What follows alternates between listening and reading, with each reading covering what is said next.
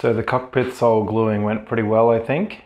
It seems to be pretty solidly down there. What I'm going to do now is just go around all the edges and do a light fillet so that uh, if there is any gap going underneath, that'll be sealed and there'll be no possibility of any water making its way underneath that doubler, even if there is a little bit of a gap around the edge. Oh, and of course, all these relief holes need to be filled as well.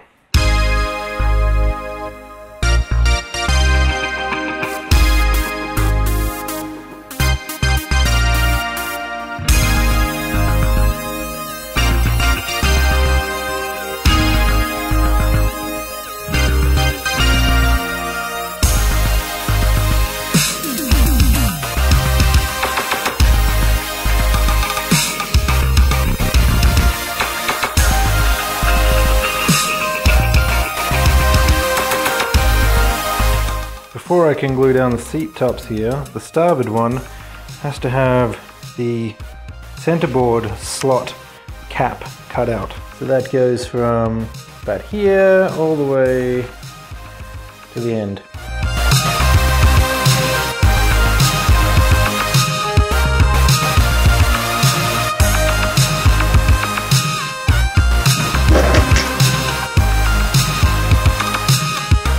Time to glue the seats in.